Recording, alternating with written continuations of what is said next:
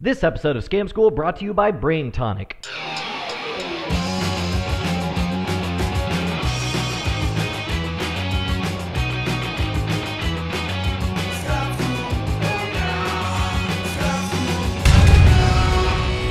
Welcome to your source for sophisticated tomfoolery. Scam School, the only show dedicated to social engineering at the bar and on the street. I'm your host, Brian Brushwood, and this week we are back with another special edition Strength School episode. You may remember a few weeks ago I went down to Houston to work with Mr. Dennis Rogers, a professional strongman who's so freakishly strong he can bend iron bars with his hands. He can roll up a frying pan like it's a newspaper, and he's somebody who doesn't like it when fakers try to look like they're strong as he is. So he's agreed to show us the tricks of the trade used by scammers. And this week we're going to learn how the fakers steal leverage.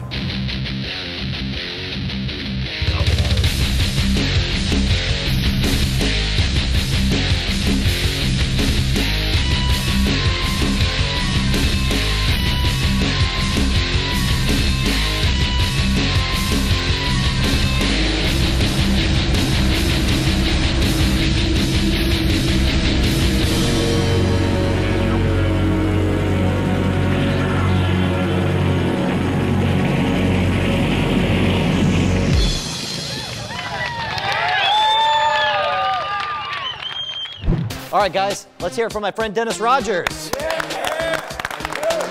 All right, what do you got All here? right, What's going on? I have a 60 penny nail here. It's a six inch spike. May, may I? Yes. Six Takes maybe 250 to 350 pounds of pressure to bend a six inch nail. I just like to take it and, and wrap it up. And there's no switches or anything. I mean, as a magician, I'm able to, you know, I Right, got right. the eagle eyes. Right. And I just hold it up here. Just bend it, just like that. Okay. I mean, you're not even breaking a sweat. It's like it's Well, nothing. it's kind of easy, easy for me to do. Get so. out. That is freaking unreal. Uh, Well, that's pretty easy for me. I do things a lot tougher than that. okay. Uh, I have, how about a eight inch crescent wrench? Okay. Uh, all right.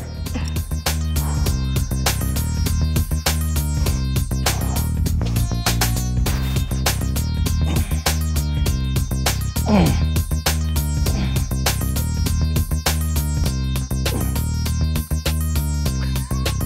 you Just go. like that. How about a hammer? Are you kidding me? Steel shaft hammer. You've got to be kidding me. All right.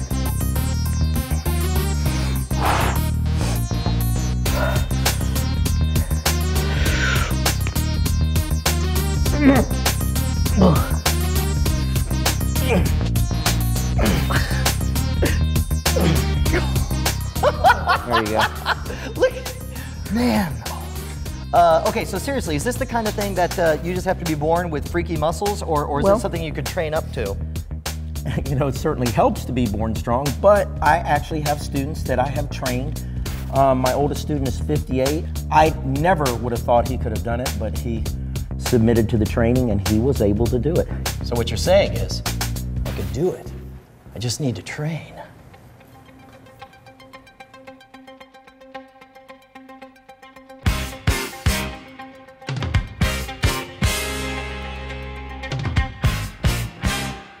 Let's do this.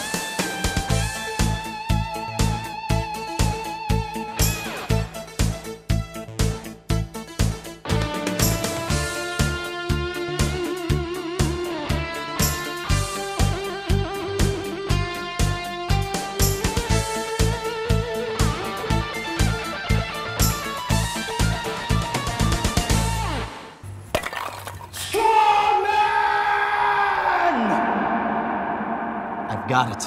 I'm ready. I can do this. How's it going, dude? I'm Brian. What's your name? Nick. Nick, it's a pleasure. I want you to check out this nail. I want you to try to bend that thing. Does that thing bend at all? Does it collapse? Is it made of anything other than really freaking hard metal? Would you be freaking amazed if I was able to bend this? Right now in front of your eyes. We're, if we were at a bar and you were of age and you were drinking, would you buy me a drink? Yes, you would. Are you ready? It's gonna blow your mind. You guys ready? Here we go. Oh my God. Oh man. Oh man. Yeah! There we go. Check that oh out, dude. man. Daggone. All That right. just. Yeah.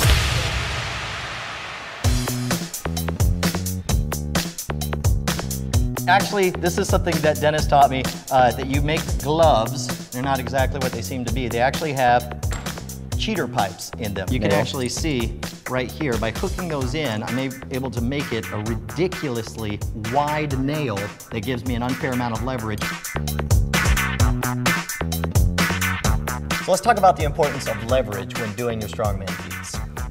Well, if you have a six inch nail and you're trying to bend it, you don't have a lot of leverage to be able to do it. If you have something just a little longer, like let's say a half inch longer, an inch longer, it's going to take considerably less strength to be able to bend it. If you take and, and look at the difference now, there's another cheater in one of the gloves. Yep. Not only did you have an extension on the nail, but also look at the way that this is a little angled down. So you're able to actually get an unfair. Exactly. You're already halfway bent You down. got it. So you're pulling in. You got it. All the way better. And that was a lot of fun. do. I. Uh, It was kind of neat. It was kind of cool, actually looking strong for about 20 seconds.